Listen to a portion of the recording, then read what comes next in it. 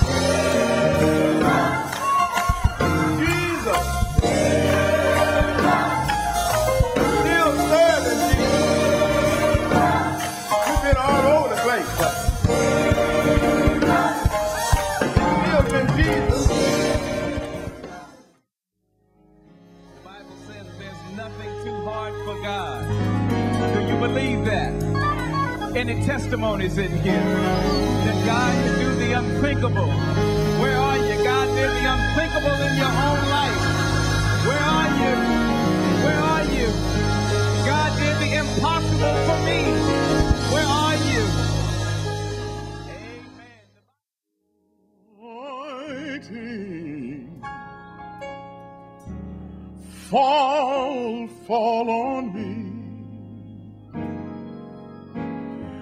Anointing.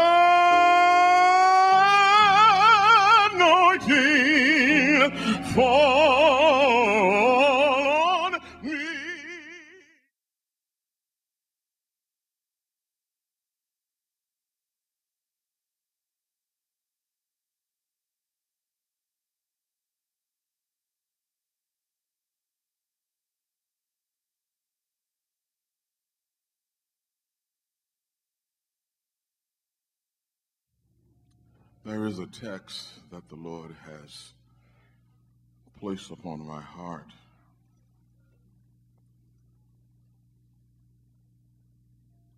Found in the book of Psalms.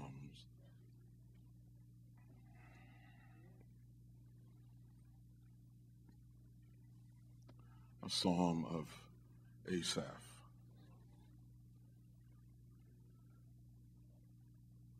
The 78th psalm. Now, Asaph was a Levite. He was a musician in the court of David, but he was also a teacher. In fact, church music at its best is instructional, not entertaining.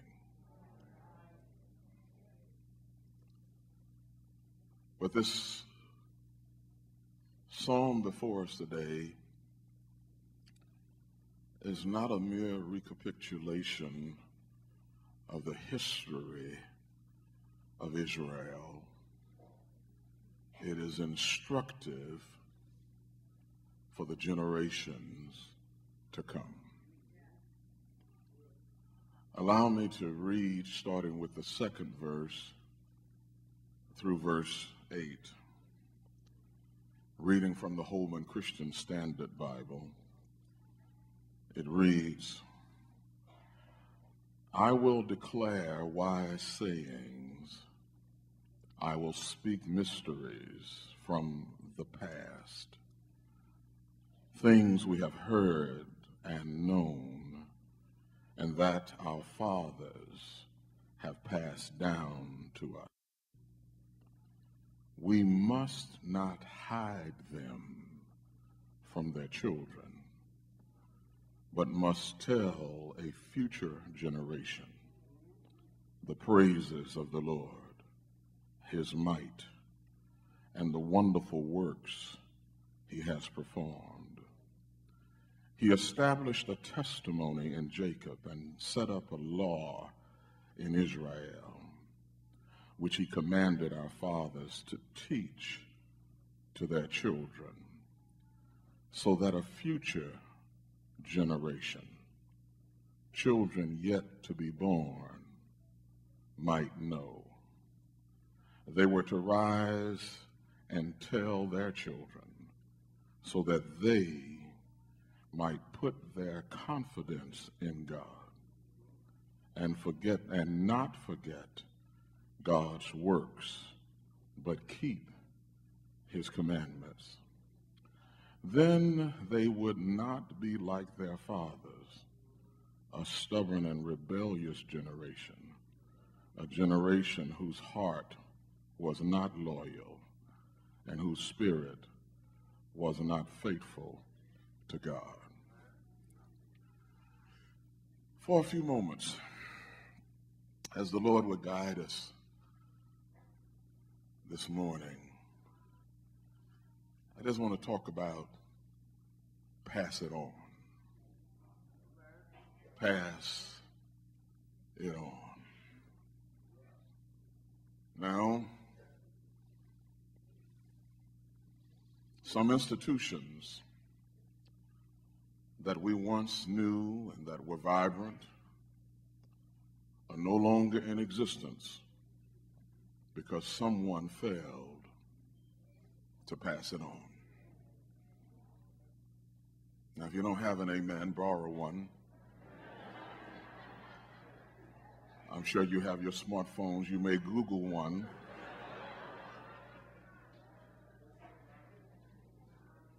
It's all right to say amen in the Lord's house. Some communities are completely in disarray because someone failed to pass it on. Some churches are mere shadows of their yesterdays because someone failed to pass it on. Some families are estranged and scattered and outside of the commonwealth of faith because somebody did not pass it on. If that's right, say amen. Pastor Earl would be well aware of this, and Pastor Lanier, that one of the fastest growing groups uh, that's measured by what I would call ecclesiastical sociologists is the group called the nones. N O N E S.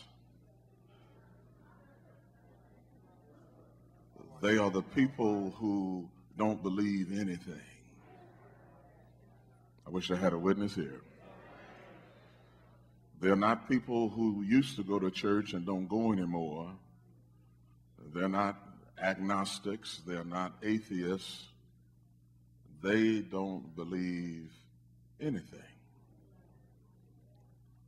And I think the plight that we're in, in America today, particularly in the black and African, Negro, colored church, is that we are silent about what we ought to be passing on. Oh, come on here. And, and the key, the key to success in ministry and perpetuating the church, the local church, because the church at large, Jesus already said that the gates of hell shall not prevail against it. But the local church, churches go out of business every week in America. Doors are closed. And it's primarily because some folk just won't do what? Pass it on. I- looked at this text and I wrestled with this text and tried to get just a little understanding of what's in this text. And I thought about the what about, or the what to pass on, and the why we ought to pass it on, and the who is involved in passing it on. Anybody interested in helping me this morning? This is a church anniversary. And if you're not careful, church anniversaries can only be, can in some instances only be a sentimental journey down the dusty lane of nostalgia. Help me, somebody. Trying to uh, reconfigure in your mind faded memories of yesterday. In fact, the theme song for some would be just precious memories. Hello, somebody. But, but when I look at this text, Pastor, what, what, the what of passing it on? What is it about? The first thing we ought to pass on what's been passed down to us. Now, the reason why I need to emphasize that is that there are some people today who are trying to reinvent church, acting as if there was no church before they got here. I would I need somebody my age and older. I know you got your young makeup on, but talk to me. Hello. And that is that that some of us forget that there was somebody who passed some stuff down to us. Am I talking to anybody here? The story did not begin when you got here. Oh, oh, y'all, y'all not hearing me. Amen. And, and, and we've got to learn how to reach back and pass on what has been passed down to us. It's in the text. It's right there. Amen. We've got to pass it on. But, but, but, but you see, you see, some folk would think that church didn't start until they got here.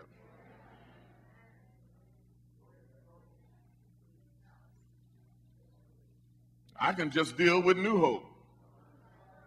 Well, no, you don't have any people like that. Because there's some people in some churches, the church wasn't anything until they joined. I don't mean no harm, but you lied and you know you lied. Hello. Because if it hadn't been something before you joined, you never would have joined. Hello.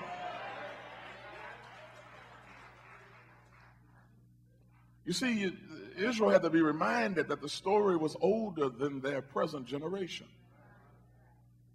And not only, not only do we need to pass on what has been passed down, but we need to tell the complete story, not redact anything. You see, the challenge with a lot of us is that we like to take out the sensitive parts. Help me preach somebody. We want our children to think that we've always been holy. Uh, I can look at some of us and tell we ain't always been holy. Y'all go, y'all go talk to me. Amen. We we want folk to think that we've always been on the front pew. We've always been a deacon or a trustee or a Sunday school teacher or a choir director or a choir soloist. I wish I had a witness here that we've always been, but you got to tell the whole truth and nothing but the truth. Hello. He said, we, we, we must not hide. Amen. We must not hide the details from our children. That's why it's hard to win some people to Christ because we don't tell the whole story. Because they can't figure out how to get from where they are to where we are pretending to be. And we need to tell them that I once was lost, but now I'm, I'm found. I'm not talking to anybody here. And in fact, we need to tell our children, amen. Amen. Y'all ain't hear him. I said we need to tell our children the whole story. Amen. Don't let them find it out at some family reunion. Amen.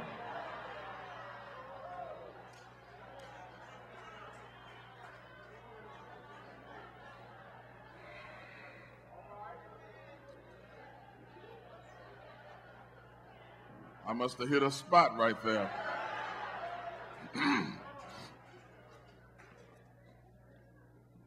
what, what do we pass on? We pass on what has been passed down. We pass on next what God has done. We pass on what God has done. God created us. Amen. I wish I had a witness. You need to tell your children, He made us. Am I talking to anybody here? Amen. You need to tell your children, He made, God made us. God made me. I wish y'all ain't getting it. God, God, God, God made you. Amen. I said, God made you. You are no accident. You are no mere consequence. God made you.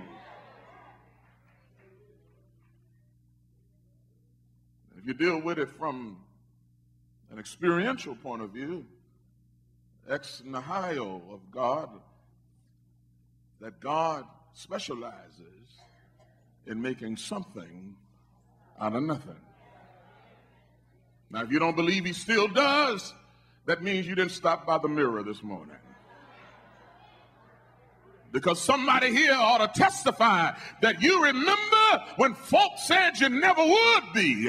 Do I have a witness here? You never would make it. Am I talking to anybody here? You never would get through. But God, who creates, took the nothingness of your life and made something out of it. What God has done, what God has done, He's created, He provided, He has supplied for your every need. You know, sometimes we act like we are blessing deprived. That's because we take for granted the stuff that God does for us 24 7 that you couldn't make it without. What do you mean, Pastor? He gives you air to breathe. Do I have a witness here? Amen. Try making it without air to breathe. Amen. He gives you water to drink. Hello. Eh, Oh no, I know yeah, that's too basic. That's too simple. Try making it without water. Am I talking to anybody here? He put food on your table, a roof over your head, clothes on your naked body. Am I talking to anybody here? He has supplied your every need. He has provided. Now watch this. That word provide uh, in the Latin provideo, uh, a video to see, pro before. He has put it there for you because he sees before you get there what you're going to need and he supplies your every need. He's cre- he has created. What has he done? He's created. He's provided. Hmm. He has redeemed. Now, some of you, this may miss you. But for some of us, God reached in to our self made predicament and brought us out. Do I have a witness here? For some of us, some of you have never been in trouble. Some of you have never needed a rescue. But I think I got a few folk in here who may be spiritual first cousins to me uh, that God had to reach his holy hand into the mess of your life and bring you out. Do I have a witness here? He bring, yes, he does. Amen. You need to tell the truth. Tell the truth that you haven't always been saved, that, that he has brought you out. He has brought you through. Wait a minute, I say he's brought you through. I, I need somebody here who is on the other side of a through you didn't think you would make it through. Oh, I better say that. I lost you. I, I need somebody here who is on the other side of a through you didn't think you would make it through. No, some of you still sleep. I said, I need somebody here who's on the other side of a through you didn't think you were going to make it through.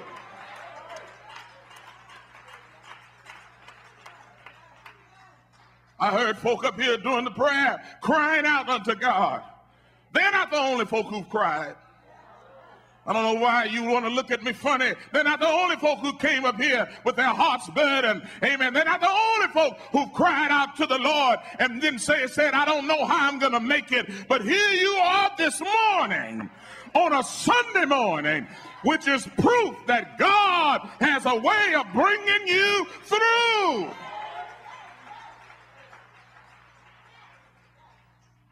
He redeemed. He brings you out. He brings you through.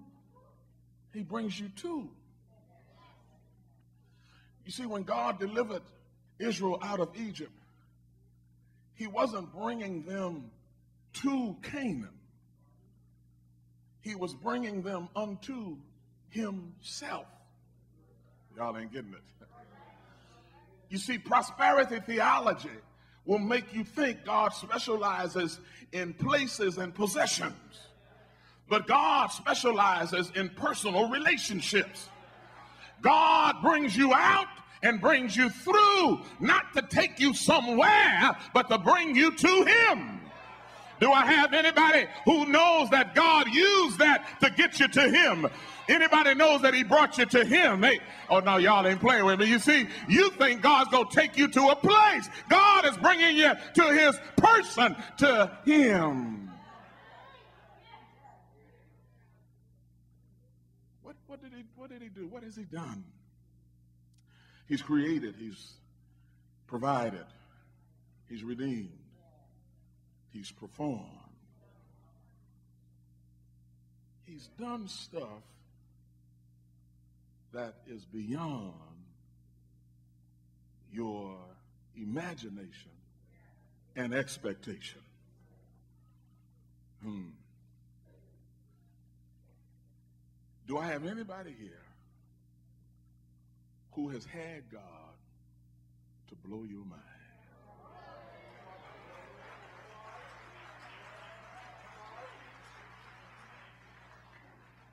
I mean, God has done some stuff that you couldn't even imagine. In fact, the way you imagined it working, working out was far less than the way God worked it out. Oh, I need somebody here who knows that God has done marvelous things. I said, God has done marvelous, marvelous things. Marvelous things, things that are beyond your mind. Anybody got some stuff you just can't figure out how he did it? Amen. God has performed marvelous things.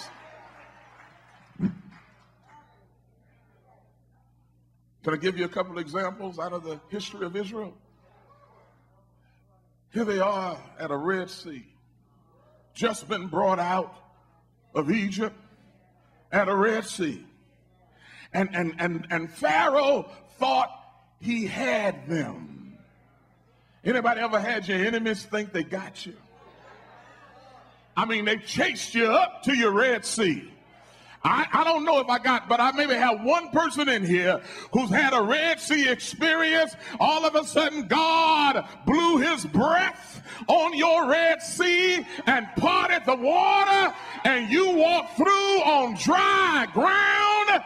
You can't figure out how you got there, but old mama would say he made a way out of no way.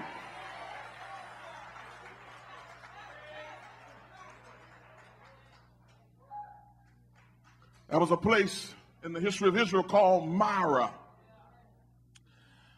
Uh, the people of God, after they got across the Red Sea, uh, they headed toward the wilderness of Shur, and, and on the way they got thirsty.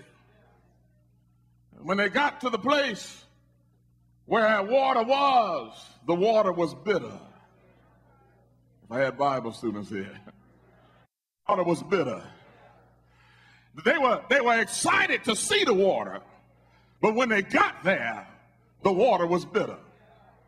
They recognized that it was water, and their mouths began to even, just even what little moisture was left was to begin to wet itself in anticipation of this water.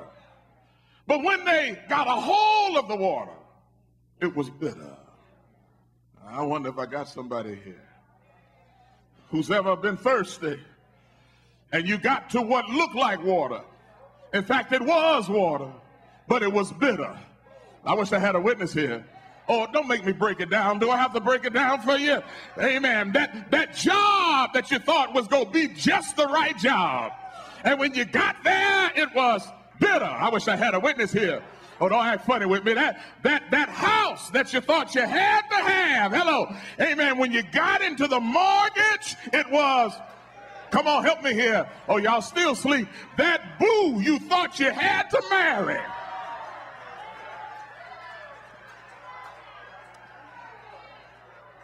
Don't look at them. Don't say nothing. Just look at me just wink your eye.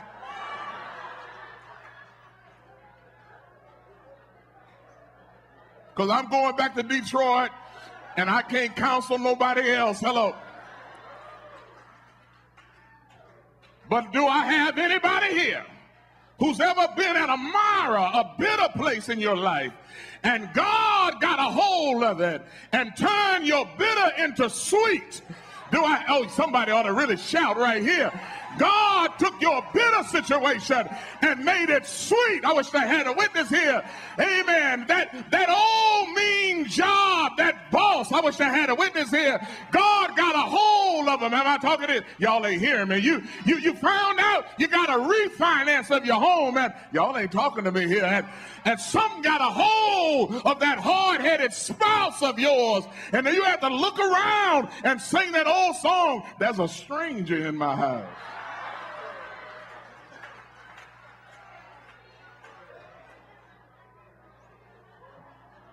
I'm, I'm gonna get out your way. I, I got.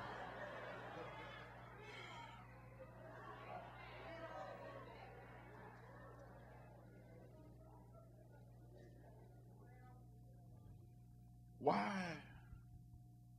Why should we pass it on? Why? It's on the text. Why should we pass it on? And, and before I get to the why, I got to go back because it's not only what he's done, what he said. I'm mighty afraid some of our churches are going to die in the promised land because they've chosen to practice a subjective theology versus an objective theology. What do you mean, Pastor? They've chosen to redesign God's word to their own liking. And they reject, I wish I had a witness here, the objective, thus said the Lord. Am I, y- y'all don't y'all don't like me. I know I know you don't like that. We we have we have rewritten the word of God. And listen here. Now now I, I, I know everybody's dealt with it, and I and I, I need to say it. And if I my keys are locked up in the office, I can't even leave. Let me let, let me say this. God God has given commandments, not suggestions. Oh yeah, no, no, that's old school, Pastor. No, commandments. Hello. And the first portion of them deal with how we ought to reverence him. God is not your buddy. He's not your ace boon coon. He's not the man upstairs. Do I have a witness here? He is God and God all by himself. He is holy. Do I have a, y'all ain't talking to me here. Amen. God tells us how we ought to reverence him. Then God tells us how we ought to relate to one another. We wouldn't have the, the foolishness, the chaos, the anarchy that we have in our communities if we just knew what God said. God said, Thou shalt not kill. Help me hear somebody. God, God said, Thou shalt not steal. Oh, no, y'all ain't hearing me yet. God said, Thou shalt not commit adultery. Oh, y'all not hearing me. God said that man should not sleep with man as with womankind. Oh, y'all ain't like that, did you? Amen. Can I break that down? Amen. I don't care what the courts say.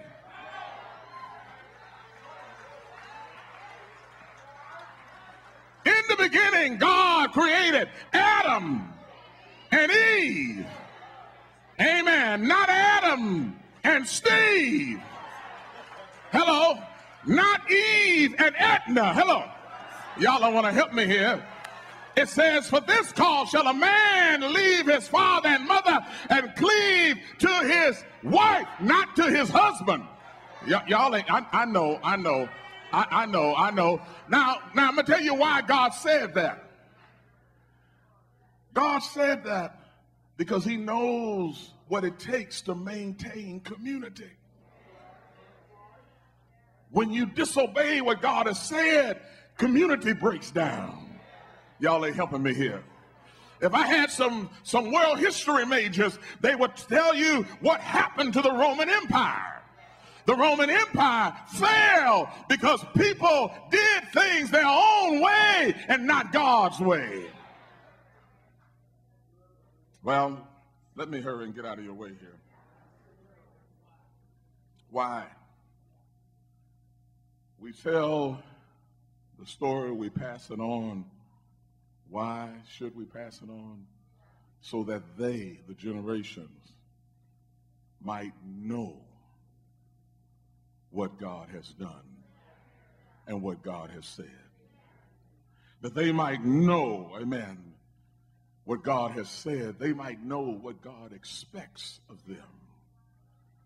It's not too early to tell your children what God expects. I wish I had a witness in the house. It's not too early to tell them that God expects you to do unto others as you would have them do unto you. Y'all got quiet. It's not too early to tell them to love their neighbor as you love yourself.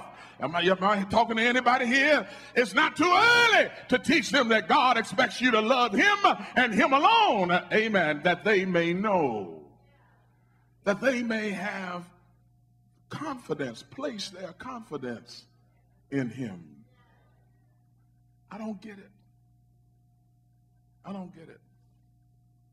Our children are growing up trusting everything but God. And it's our fault because we have not told them about what God has done so that they could trust God. I, now, see, you got real quiet.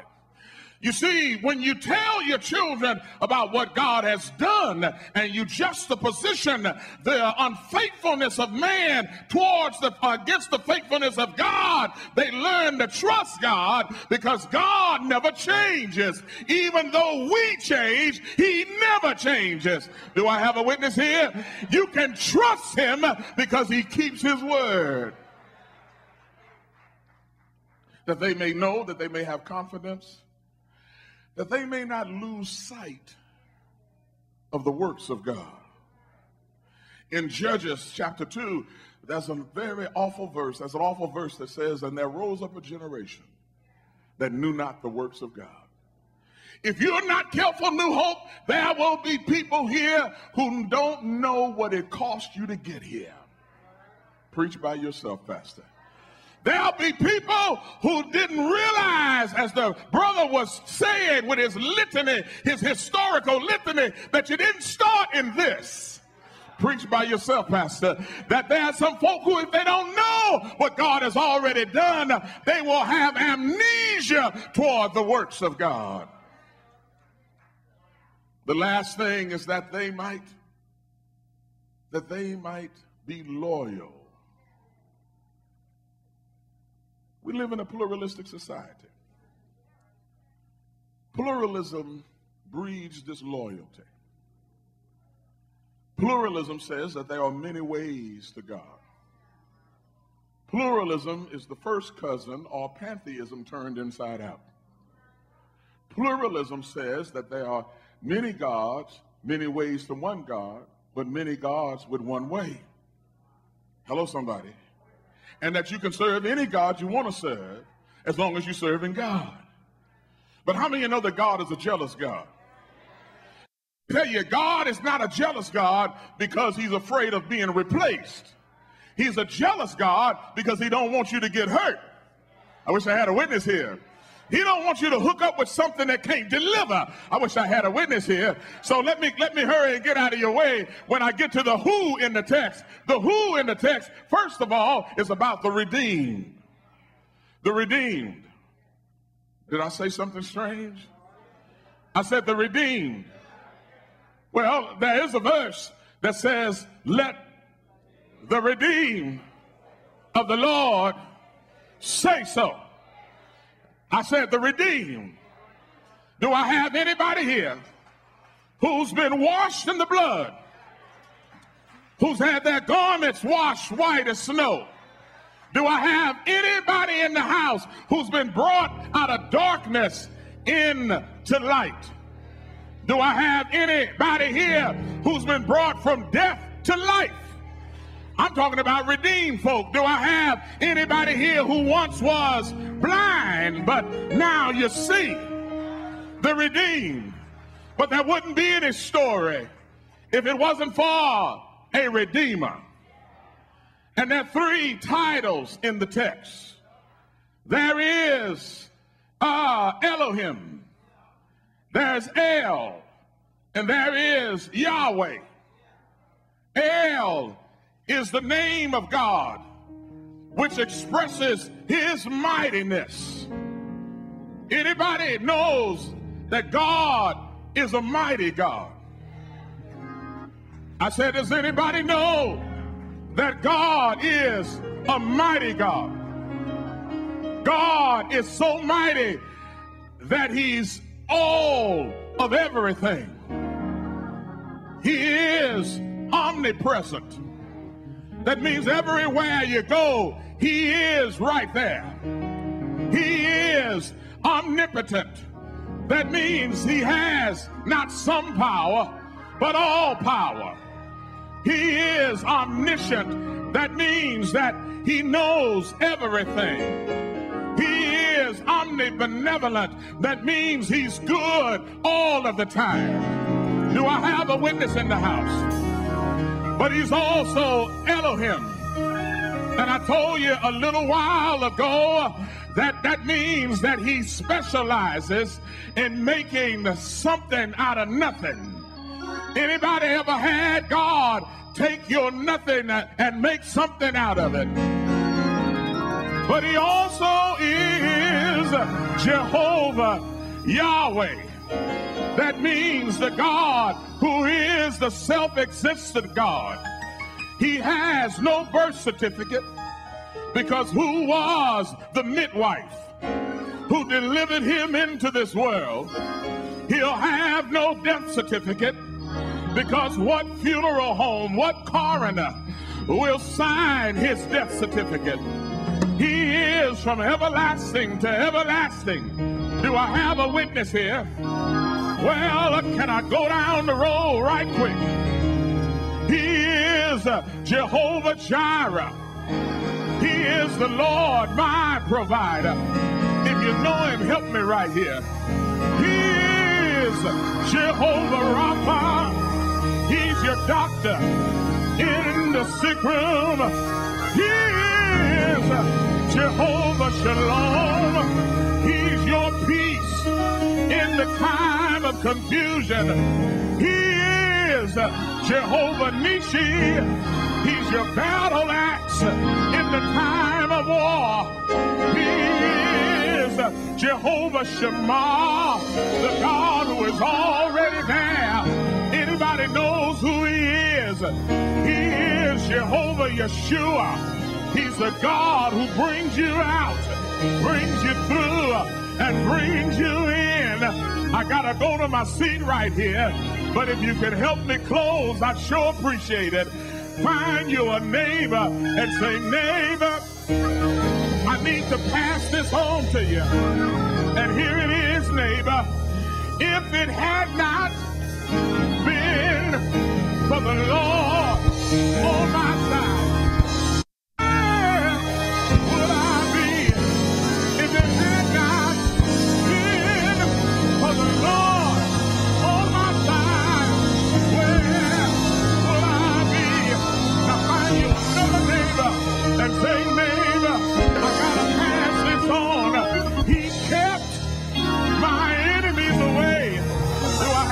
witness here? He turned my darkness into day. He rocked me in the cradle of his arms when he knew I had been battered and scorned. If it had not, oh, I need some storytellers here.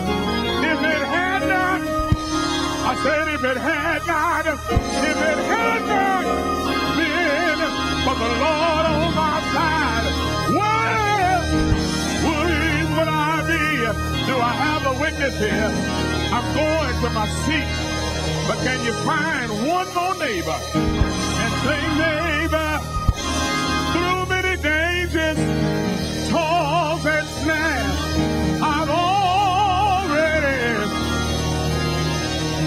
I said I've already, I need some already folk here. I've already ser amor.